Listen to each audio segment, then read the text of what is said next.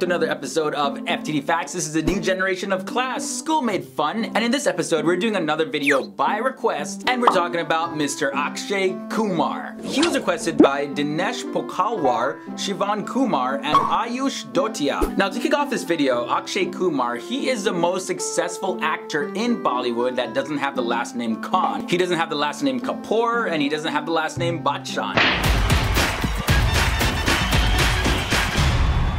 So let's just start off with some basic facts. We all know him by the name Akshay Kumar. However, I'm gonna blow your mind a little bit, that's not his actual name. He was born Rajiv Hari Om Bhatia, and he was born in India on September 9th, 1967, making him now 49 years old. But that's a very long name, so I'm just gonna stick to Akshay Kumar for this video. Everybody knows him by that name anyway, so it doesn't really matter. Now Akshay, he started doing martial arts when he was in the 8th standard. Now after getting a black belt in Taekwondo in India, he went to Bangkok to study martial arts.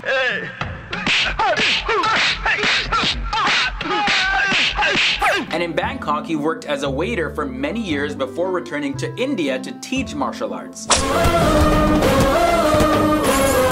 So yeah, he put in a lot of years of hard work in other things before he made it big in Bollywood. Now of course, becoming so popular as he did is not really that easy. But because he pushed through everything, he's now worth $150 million US. And he's ranked 9th in Forbes' first global list of the highest paid actors in the world. Now there's one word to describe how this guy got into acting, and that is destiny. It was like honestly just meant to happen. So hear this. He got his first break in the movie industry because he missed a flight. And that's probably the only time that something good can come out of missing a flight. It turns out that he was scheduled to fly out for an ad shoot, but he missed his plane and he was kind of beating himself up a little bit. So he just decided to visit a film studio with his portfolio and that same day he was signed for the leading role of the movie Deedar in 1992. And then the rest is history. But guys, let me know down below in the comment section, what are you very passionate about? We all love something and have big goals, so let me know down there.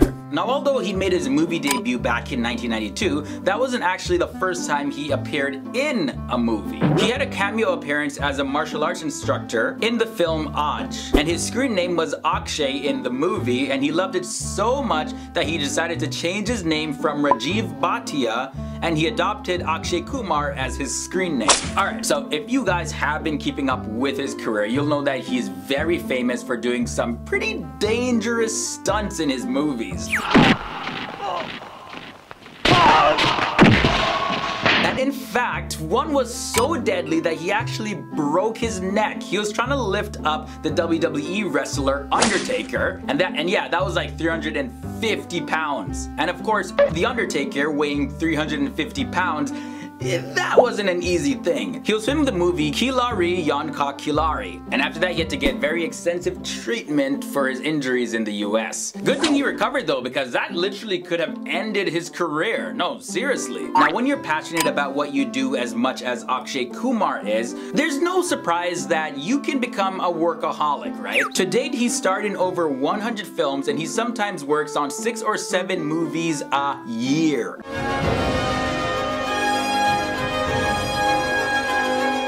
Probably wondering, how does he spend time with family and loved ones? Well, he actually works six days out of the week. He takes Sundays off to spend time with family and just relax and recover. Now, when you see Akshay Kumar with his shirt off, you're probably wondering like, yo, this guy pumps some serious iron. But in fact, his whole muscular physique has nothing really to do with lifting weights. His gym is one of the most unique gyms because it doesn't have any equipment there. So he does tons of running, martial arts, and boxing to stay fit. Now, kind of similar to the previous fact, Akshay Kumar is actually one of the most disciplined actors in Bollywood. He has a strict fitness schedule and he's a super early riser. Every day he gets up 5 a.m. to start his day and goes to bed right at 10 p.m. I believe in training specifics to make me capable of achieving what is required to me. No late night partying? What's up with that? I'm sure he fits those in from time to time